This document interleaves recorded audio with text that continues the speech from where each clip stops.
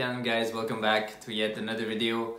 Um, I welcome you all with my love and respects and the blessings of my Guru, His Divine Holiness Bhagwan Shri Nithyananda Paramashivam. Today's video, I want to share a kind of a click which is happening in me for the last few days. Uh, you guys might be aware that we're doing this live Vakyartha Sadas after the daily discourse, the satsang every day on the Blissful Athletes channel, and I might start to upload them on my channel as well. Um, and so a lot of kind of understanding is happening and i wanted to share some an experience that i'm having by doing that. And that is the importance of listening to the spiritual truths especially the spiritual truth that paramashiva reveals regarding how the universe functions how consciousness is and how it expresses itself. Um, knowledge which we would consider very complex or uh, deep or subtle which is not easy to grasp but um, what I'm realizing is that the more you engage with it, the more you contemplate, you meditate, you um, you do Vakyartha which is basically sharing understandings to raise each other to the highest space.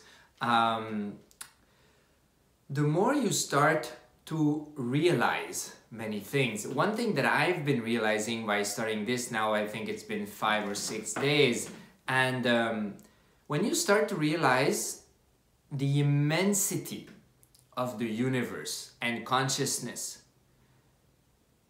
It kind of you kind of understand that i need some help. Like i can't i don't think i'll be able to grasp the whole thing. At some point i personally came to conclusions like oh my god this is so huge.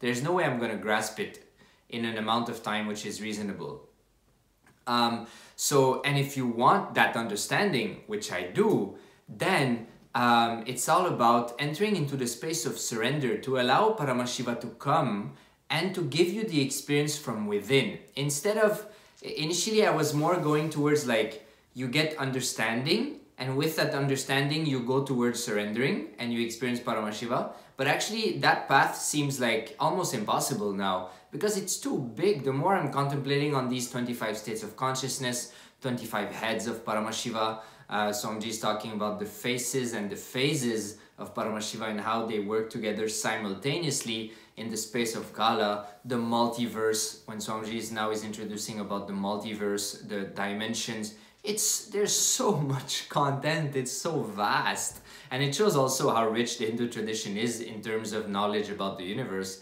and existence itself. And the more you see that, you're just like, oh my god, like I, I, I need some help. So then,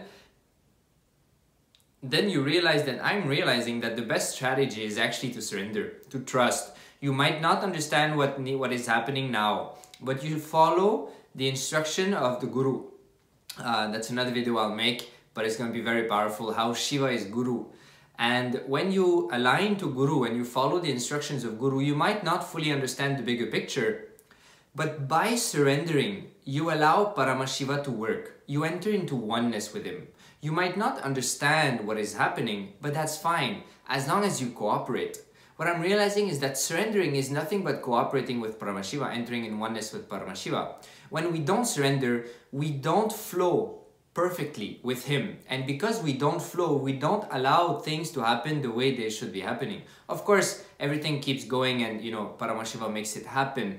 But um, there are ways of making thing hap- things happen which are a lot less um, troublesome we can say from a human perspective um, and so and so yeah so that is why surrendering and cooperating with paramashiva entering allowing the oneness to manifest, um, we allow things to happen even if we don't fully understand them.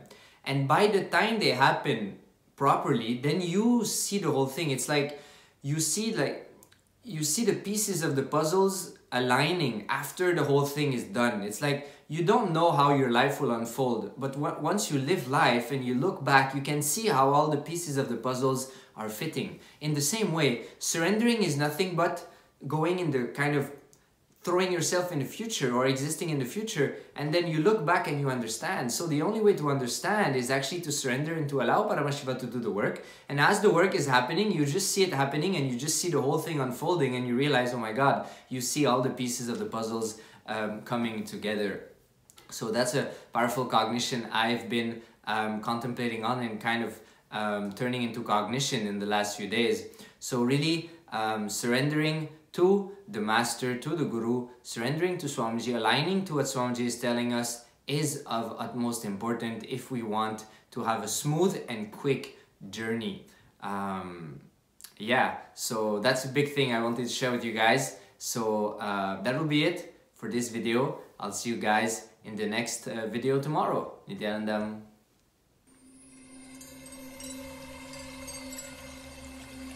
I welcome you all with my love and respect. Let you all open all your three eyes.